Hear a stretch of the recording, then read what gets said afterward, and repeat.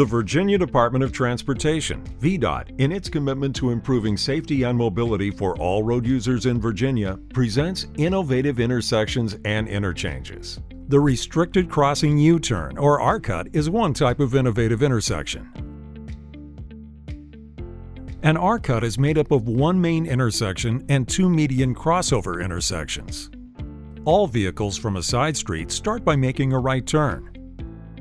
To turn left or to go through the intersection, side street vehicles make a U-turn at an adjacent median opening.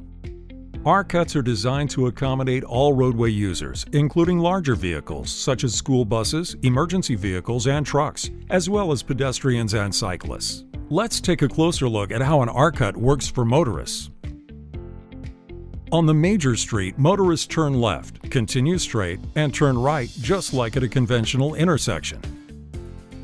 From the side street, all motorists start by turning right. Those who wish to continue straight or make a left turn from the side street will go to the adjacent median opening and make a U-turn. These motorists will then either continue straight on the main street or turn right onto the side street.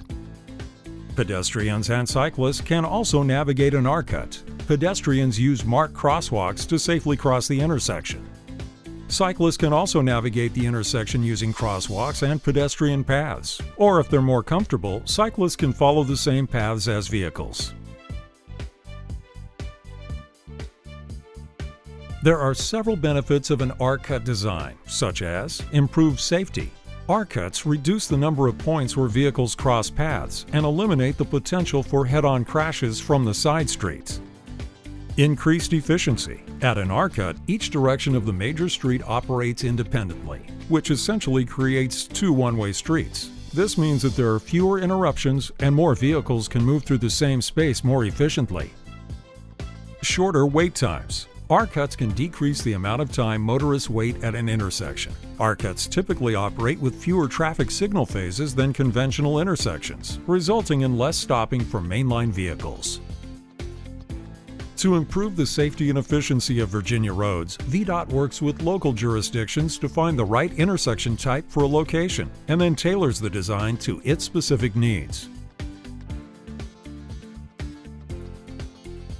To learn more about RCUTs and other innovative intersection designs, visit VDOT's website at virginiadot.org forward slash innovative intersections.